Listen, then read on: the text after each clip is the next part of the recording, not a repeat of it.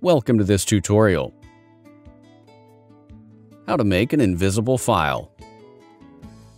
You can hide your sensitive files from unauthorized access by making the files invisible. There are many ways to hide the file with free and paid tools. In this video, we will learn to make an invisible file in Windows 10. Follow these steps.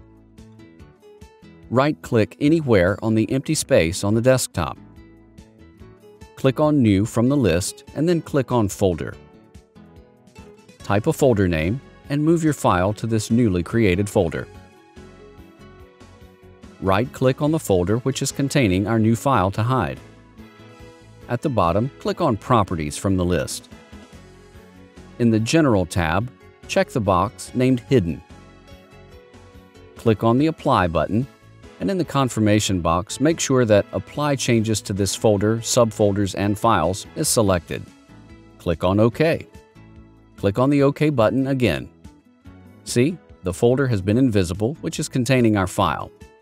If you want to see back your hidden file, then open File Explorer. Click on the View tab on the top. Click on Options. In the Folder Options window, click on the View tab select the Show Hidden Files, Folders, and Drives. Click on Apply, and then click on the OK button.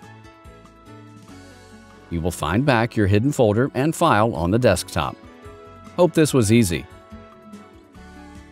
Thank you for watching this video. Please subscribe to our channel.